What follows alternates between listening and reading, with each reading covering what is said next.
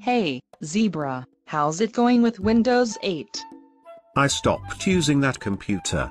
Need to switch out the hard drive, because you cannot uninstall Windows 8. So what will you do to replace it? I don't know, yet. Was thinking about adopting Linux. Have you tried it, yet? Funny you should ask. I tried 10 distributions, this morning. Oh? Which ones did you like the best? Well at first I liked Mint and Ubuntu, both very nice. Both like Windows, used to be. But I just tried Fedora. Did you know, you can't have Linux on a stick? On a stick? Oh, you mean Linux solely on a USB pen drive, right? Right. Pretend you bought a 32 gigabytes Kensington or Patriot drive. Then put Live Linux on it.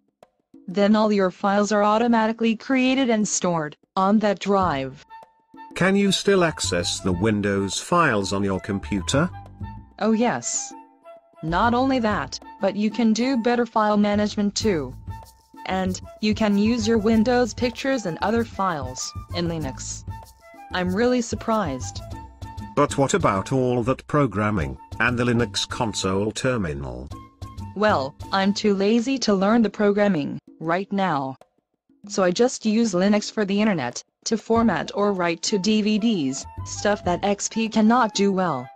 So you didn't have to install Linux, and it could read your machine well? Yes, Dell Latitude 6530. I've not yet tried it on the other machines. But if I can keep it on a stick, then I can play it on any machine. Woohoo! So I should try Fedora 17? But Fedora 18 just came out. Should I try that? Well, yeah, but first go to Fedora and download version 17. Use their LiveUSB creator software, so you can later use it for other distributions. Huh? Well, LiveUSB Creator takes any CD and converts it to a live distro on the USB. But only Fedora 17 downloads directly to the USB via the software. Worth trying it first. Why Fedora? Isn't that related to Red Hat? Yes, which means it will be more careful to be compatible. I didn't like it at first, but the KDE desktop allows you to change colors just like you do in XP display properties. Oh, you mean the classic style? Which in Windows 7 is personalize Windows color. Yes, exactly the same options, including a slideshow.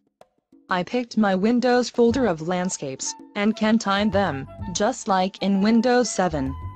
So too, all the colors. Can you change the icons, too? Yes, you can change almost everything. I still have to figure out how to change the taskbar. They have a taskbar. So then you can configure it as if you were still in Windows? Seems like it, yes. I've only done a little playing. Both Mint and Ubuntu offer many options too. Best of all, each has a different mix of apps to try. Aha, so with Linux on a stick, you can play with the distributions and never have to change your hard drive. Right. Aha, so now I can use my Windows 8 computer, since I never enabled its UEFI, so it will boot in Linux. Yay. Yay. Yay.